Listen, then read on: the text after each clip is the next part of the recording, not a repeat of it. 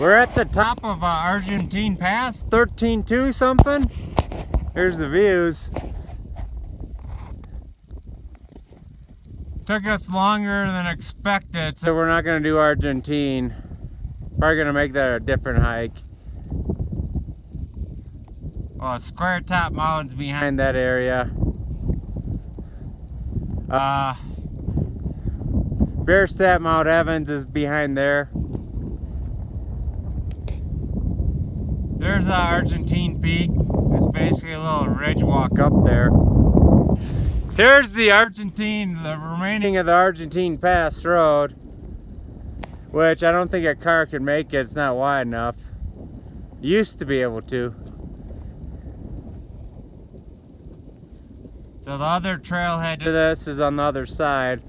If I do Argentine Peak, I'm going to use the other uh, Argentine Pass trail.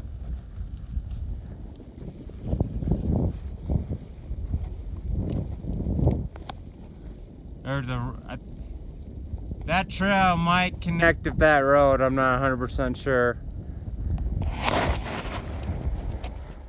Whole bunch of mining, old mining ruins. I see a bunch of, oh those are old telephone poles. There's like old roads and everything. Is that Grays? Yep, Grays on the left, Torrey's on the right. Yeah, Grays and Torreys. Right there is uh, Mount Edwards, our next. McClellan is probably behind that.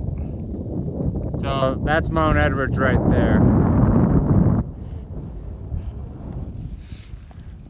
But I'm not sure what lake that is. Definitely good views.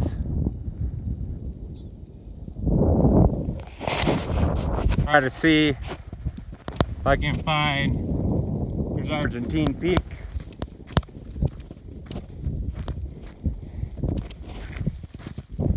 Well, you can't really see the route of Argentine Pass from here.